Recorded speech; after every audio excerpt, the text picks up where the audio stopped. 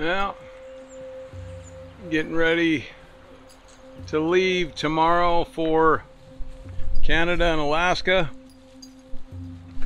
Roger setup. DIY master.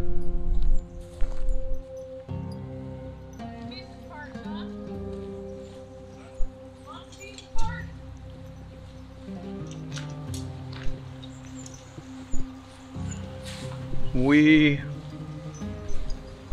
are set up in my son-in-law's front yard. And we can't wait to go. Can't wait.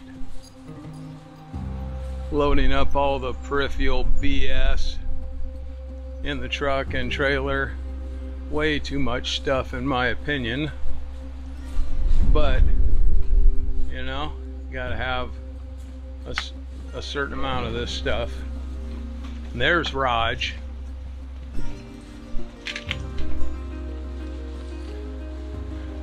Yeah.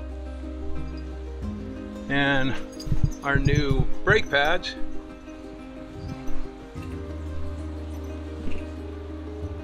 Yeah. Well, we'll talk to you again a little bit later. Well, it is Monday. We are leaving a little later than expected. Getting ready to say goodbye to the kids and uh, get on the road and hit the, the border. Roger and his boys are ready. We're ready.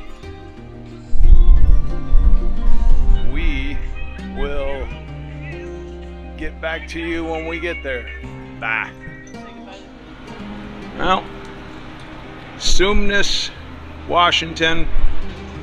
There's the border crossing, and I'm sure they're not going to let us uh, record the crossing. But we are ready. Took us about, I don't know, 45 minutes to get to Sumas via, and there's Roger going to do paperwork. Deb's already over there at uh, the U.S. side. Here's Grace. And a very nicely done Smittybilt trailer. We will let you know how everything goes through Canada. We are heading to Tuck. What is it? Tuck Tuck Toyatuck.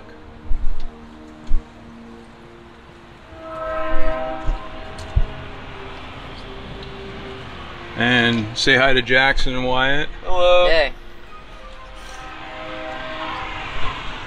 This is gonna be fun. Our newest addition. Mac tie down uh, hitch vise. And then our Aluminess shovel and axe mount. Really liking that because it locks. And I don't have to worry about anybody jacking my stuff. All right, well, that's it. We will get back to you as soon as, uh, that's a loud truck. As soon as we're on the other side of the border. This ought to be fun. All right, people. Welcome to British Columbia. We made it into Canada, no problems. Turn yes, left. you can bring firearms into Canada. Just got to go through some paperwork and keep that paperwork with you. Don't try to bring pistols, they won't let them in. But if you have a shotgun or a long gun, they let them in. And uh, we are now in Canada. Canada, baby. Oh, yeah, Canada. Whoops, sorry. Zoom in on this.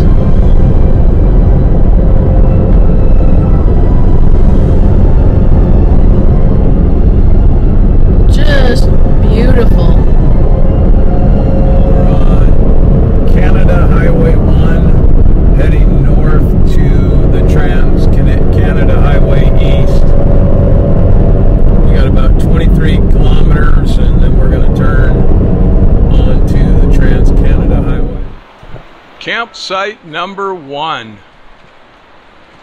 and got on uh, dirt roads the first day in British Columbia.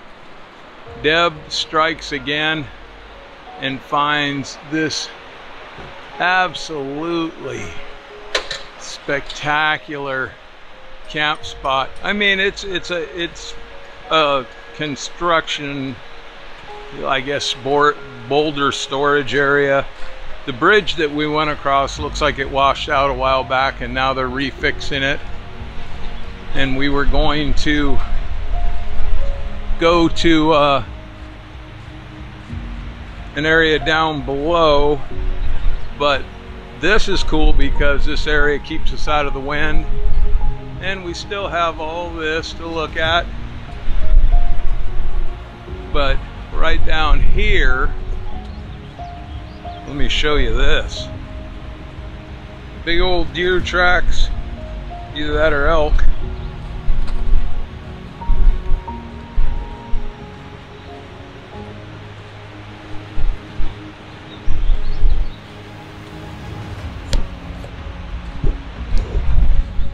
Yeah this is absolutely Canada's beautiful. My first trip to Canada and I'm loving it. But uh, yeah we check out this spot over here see what everybody thinks. But yeah it's just unbelievable. And Deb found this just by digging on the internet as we drove.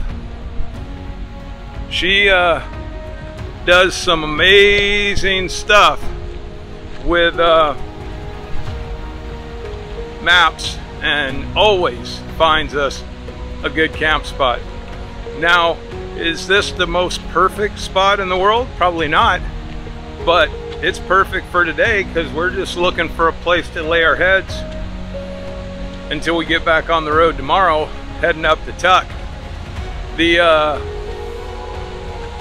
border crossing went painless. It took a little while because we got a new border agent, but we got in no problem, even with a firearm.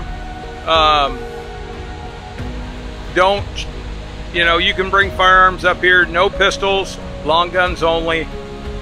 Um, and for our shotgun, because it's semi-automatic, you had it had to have a minimum of an 18.5 inch barrel if you have a uh, pump shotgun, as long as your overall length is 26 inches or more, and the barrel came in at under 18 and a half, it doesn't matter um, as long as that barrel was uh, the factory barrel. But I want y'all to check this out.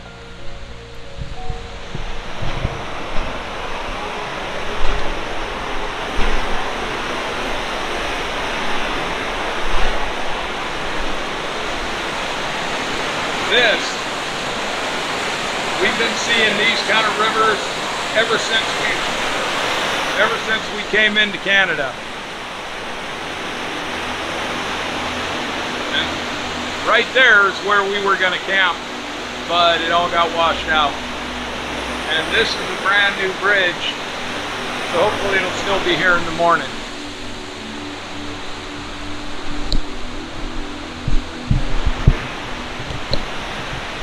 yeah, so it's been uh, an amazing trip so far. And um, this is going to be the end of day one. And uh, tomorrow will be the start of day two. And we are heading directly up to, uh, I can't pronounce it, Tuk Toyak Tuk.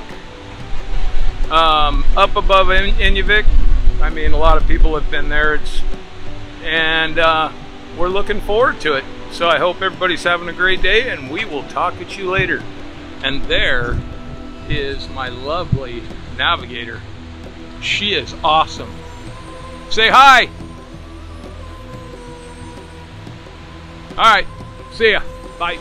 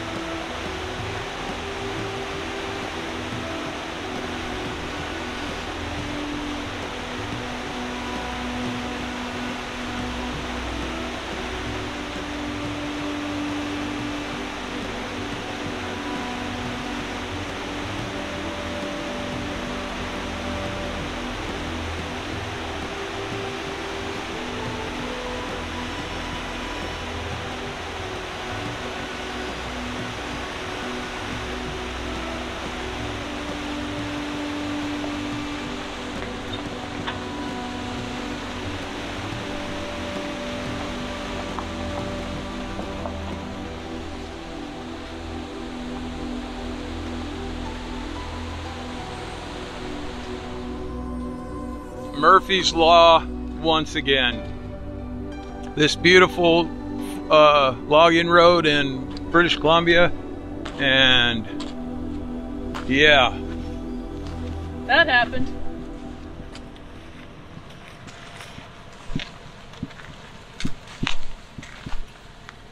sheared off axle.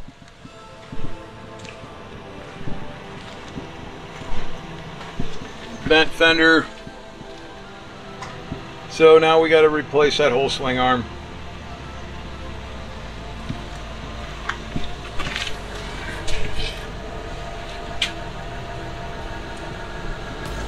Yep.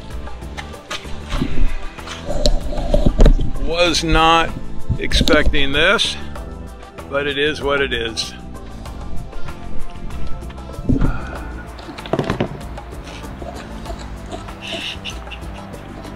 Hello, it's Mike and Deb from Iron Horse Overland, and we, um, it is the What? Well, we don't even know what day it is. 15th of June. We're on day three of our trip into Canada, and the first day was awesome. Came across the border, no, uh, no drama. Yeah, no issues. Everybody was super cool at the border. had all of our paperwork Yeah. uh, ready for the shotgun. Um, I think it that took us all smooth. what, half hour? Yeah, probably. We made it up to, oh, I don't. Past Chilliwack. past Chilliwack and Hope and all that, and we found an awesome little campsite by this raging river, so we slept like big dogs. And The original campground we were going for got washed out in all the flooding they had last year. Um, so we had to kind of go, we ended up going up from that and going where probably the construction equipment had flattened out and parked to rebuild the bridge that had been washed out. yeah, Um, so not the the like most super beautiful scenic camp spot, but totally flat and totally usable and uh, and not washed out by floodwaters. yeah. So, you know, we had dinner, we went to bed, and everything was cool. It was supposed to rain all night, it didn't. And we got up that morning, had breakfast, dilly dallied around, and then we took off. We got about a mile up the road and sheared a stub axle on our on the passenger side of our uh, Patriot camper Yep, that happened. in the middle of Canada, Felt a thunk and watched the tire go and right past us. Right past us. Our, our buddy that we're traveling with got on the uh, radio and he goes, "I'll follow the tire." So he and his kids Yeah. went and uh, got retrieved the tri- tire and wheel and brought it back. Um, sometimes you got peaches, sometimes you got lemons. Um, I guess it's not. They say if it, if if it's not adventure unless you have some adversity. Well, I think this trip is. I hopefully this is the end of our adversity. So we were like, what do we do? So we jacked it up, and there was no fixing it. I was hoping it was just a wheel bearing. It was not a wheel yeah, we were hoping it was the wheel bearings because I mean, even though we checked those very frequently and th- th- nothing was wiggly, but we had a spare set of wheel bearings. I had just like three days prior pre-packed them with grease and wrapped them carefully in their Yeah. plastic bag and put them in the spare parts section. So we're like, we got this. We can fix this. So I'm looking at it and I go, we ain't fixing this. Can't fix this. Um, the stub axle for the uh, the Cruisemaster suspension is all integral. It's not bolted on. So basically, you have to replace the the entire swing arm to replace the stub axle. Well, on top of that, when the wheel came off, it basically destroyed the whole electric braking system. So now we need a whole the whole braking system, hub, all that stuff. So we're like, we're in Canada. oh, what do we do? what do we do? Um, So this is part of full timing. Is all of these uh, little hiccups along the road that Yeah. you got to figure out. So you know, she got on the phone, luckily, and everybody always asks me, does the weBoost work? yes, Yes, it does. We were able to contact or Exploration Outfitters and talked to Ray, who was a tremendous help. We uh, He got the ball rolling on his end. yeah, um, they had a swing swing arm at Exploration Outfitters, but it's a driver's, Driver's side, side. so it doesn't help us. So he was. We were seeing if they could like pull one off a trailer and send it to us. Um, they weren't able to do that, but this is a big shout out. Um, he sent an email to Patriot Campers in Australia because the Cruisemaster suspension on our trailer is proprietary to our trailer. It's not like the other Cruisemaster suspension. So Justin, the owner of Patriot Campers, was in the Finke Desert racing. He got the email and basically said, I want a swing out mailed out to them ASAP. So as far as I know, this swing out's already on the way. We're waiting, Ray's waiting to get the tracking information. Uh, you know, there's a quite a significant time difference uh, between here and Australia. Yeah. So when we're awake, they're asleep. So there's a, a narrow window of communication. So he'll probably get that tracking information sometime today. Yeah. And, so uh, we were able to get a hold of Hope Towing, and I got to tell you, they are absolutely the guy David that came out. David, I think so. yeah, really good guy. Um, Did a stellar job Yeah. getting the trailer on the. I was stressing, how is this guy going to get this trailer on the on the on the flatbed without destroying something? And he was awesome. Yep. He had Pulled it right up. had these cool no, little like hard plastic slider things that he strategically placed in places and. and, and you could see it, the wheels turning when he's looking at it, going, "How am I going to do uh, this yep, without you destroying could, you it?" could see him totally puzzling it out, and uh, he he got it up there with those little sliders, just slick as a whistle. Yeah. No pun So- intended. No pun intended. But it was slick.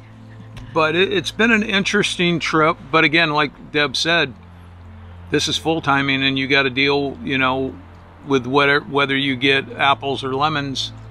And we got lemons the last cou- couple of days, but You turn it into a learning a learning situation. Um, we we ended up being able to find a campground.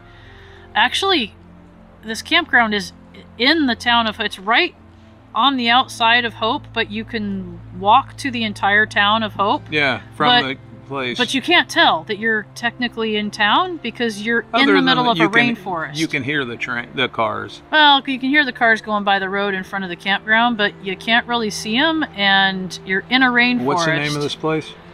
Oh, good grief. Ch- ch- ch- I can't pronounce anything in Canada. Chuckahula? No, it's like Chucka. Quila.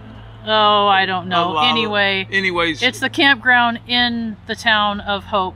Very, Um, but the, the cool thing was, is Deb called him and said, "Hey, because We're having a, you know, we can. Well, initially we, we, got to called wait a, for these parts, so we need a place to stay. We didn't want to stay in a hotel. and and by the way, a tow truck will be dropping off our broken trailer into the campground, and, And and in the states, you tell them that, and they're like, "Oh no, you're not." yeah, Here, they were they were welcoming. They were like, "Cool." Um, we got this camp spot until the 23rd. I'm hoping the parts will be here before the 23rd. Way before the 23rd. I think we can switch them out ourselves. Switch it out ourselves. If we can't, we already got a, a, a mechanic here in Hope on waiting to find out when our stuff's gonna get here. and again, uh, the car guys in uh, in Hope, uh, a couple of the several of the mechanics we called said they would not work on it if it was not parts that they themselves ordered, um, Yeah. regardless of the fact that they couldn't order them. Um, but the the guys at, at the car guys, they were like, you know, hey, we you gotta, we're not gonna leave you hanging. Um, we can totally work with you. So uh, Yeah, you know that it, it was just really really nice. Yeah, I mean, and and I got to tell you, this park, It's really pretty. it's very pretty. There are some really loud uh, crows, Crows. Yep. Um, Very loud crows. yeah, but And- I and- mean, and the people, adorable tiny little brown squirrels. brown squirrels. Brown. They're tree squirrels. I thought they were ground squirrels, but they're tree squirrels. Yeah, and Gunner doesn't um, like them. Gunner wants to eat them, but but they're they're tiny and brown.